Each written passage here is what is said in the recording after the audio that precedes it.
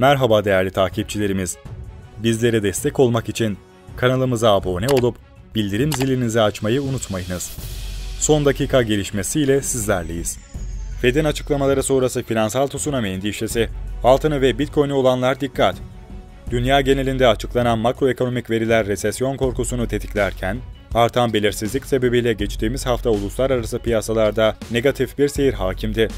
Bunun temel sebebi ABD Merkez Bankası Başkanı Jerome Powell'ın Jackson Hole Ekonomik Politikaları Sempozyumunda verdiği mesajlardı. Enflasyonda %2 hedefine dikkat çekerek fiyat istikrarı için gerekenlerin yapılacağını ifade eden Powell'ın, bu biraz zaman alacak, daha yüksek faiz oranları, daha yavaş büyüme ve daha yumuşak iş gücü piyasası şartları enflasyonu düşürürken, hane halkları ve işletmelere biraz daha acı verecekler sözleriyle piyasalardaki olumlu hava tersine döndü.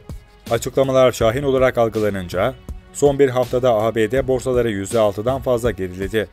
Ağustos'un son haftası 33.350 puana kadar yükselen Dow Jones 31.260 puana, 4.200 puana göre S&P 500 3.900 puana, 13.120 puana gören Nasdaq 12.000 puana kadar geriledi. Ancak piyasalardaki bu durumun bir kandırmacı olacağına dair görüşler söz konusu.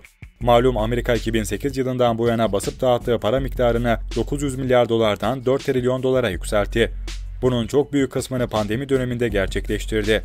Bu durum enflasyonu tetiklerken, ABD şimdi faiz artışı yoluyla doları ana vatanına çekme çabalarını artırıyor.